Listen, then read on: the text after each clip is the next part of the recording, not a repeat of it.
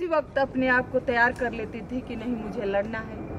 और कहीं ना कहीं मुझे अपनी व्यवस्था पे देर हुआ, संघर्ष करना पड़ा, लेकिन विश्वास बना रहा कि अगर हमारे संविधान में है, सजा है तो निर्भया को एक न एक दिन इंसाफ मिलेगा, इन चारों को फांसी अब फाइनली आज जो समय आ गया है।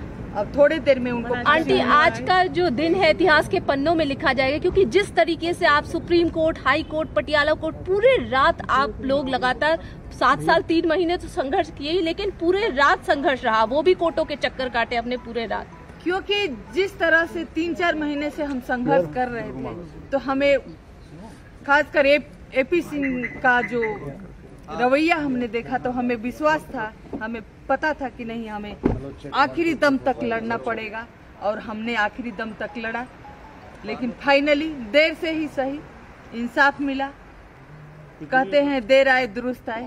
तो मैं सबको बहुत बहुत धन्यवाद देती हूँ, अपने सरकार को, अपने सिस्टम को, अपने न्याय व्यवस्था को, पूरे समाज को, अपने मीडिया भाई बहनों को खासकर अपने बच्चियों को बहुत बहुत धन्यवाद देती हूँ हम सबको आज आप अपने घर की सीढ़ियाँ जब चढ़ेंगी तो ये होगा कि अब कल से कोई कोर्ट के दरवाजे नहीं कुछ नहीं।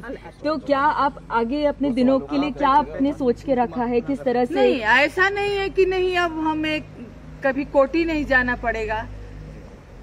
हम बच्चियों के लिए काम करते हैं। हमने एक निर्भया ज्योति करके हमारा ट्रस्ट है उसमें बहुत सारी बच्चियाँ वॉलेंटरी काम करते हैं। तो हमें फाइनली है वो भी इसलिए है कि अगर हम बच्चियों को मदद कर रहे हैं उनकी केस है तो कोर्ट जाना पड़े। तो ये कोई आखिरी बार नहीं है कि नहीं आखिरी बार कोर्ट गए खत्म हो गया। हम आगे भी अगर ज़रूरत पड़ी तो हम अपने बच्चियों के लिए अच्छा जिस वक्त जिस वक्त ये फैसला सुनाया जा रहा था क्योंकि प्रक्रिया बहुत लंबी खींची कई सालों तक की हो गई। और उम्मीद बार बार टूटी भी है कई बार। जिस वक्त ये फैसला सुनाया जा रहा था लग रहा था कि ये अब राहत की सांस क्या भाव थे उस वक्त। अब अब हो गया बस।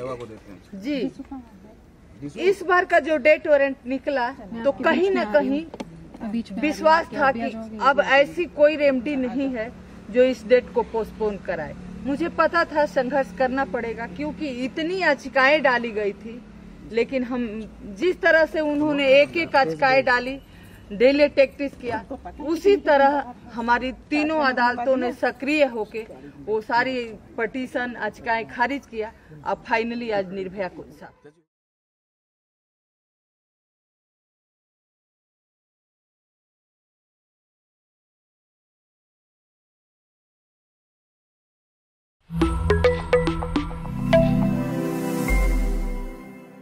देश का पहला मोबाइल टीवी जो लगातार आपको रखेगा। ताज़ा खबरों से अपडेट। घर से दूर हो या दफ्तर से बाहर, आप कहीं भी हो, खबर छूटेगी नहीं। हर मिनट में ताज़ा हेडलाइंस के साथ राजनीति, खेल, मनोरंजन लाइफस्टाइल और तमाम दुनिया भर की खबरें। News 360 degree TV 24 into seven live TV breaking boundaries